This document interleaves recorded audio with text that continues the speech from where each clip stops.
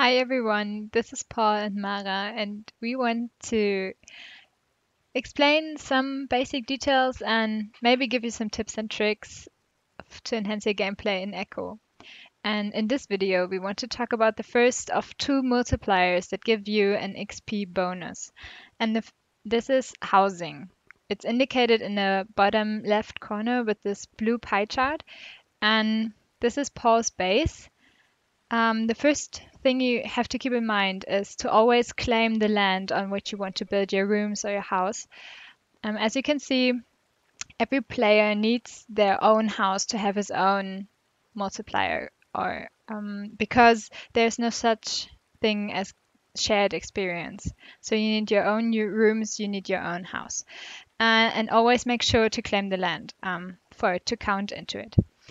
Uh, yeah, when does a room count as a room? Um, as you can see in the bottom right corner, there's this display that shows you're in a room and when it says room volume and tier. And for a room to count, uh, you need the ceiling uh, to be fully completed, or the roof and ceiling to be fully completed. And um, you're only allowed to have two gaps on the side.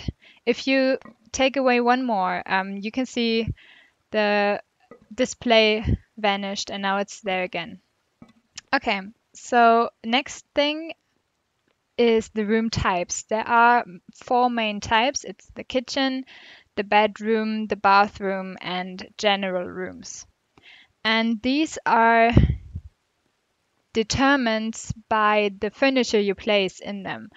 Such as a bed, it indicates that this one is the bedroom or the toilet, which makes this room the bathroom.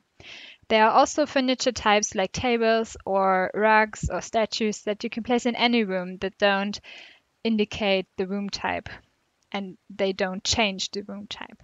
Okay.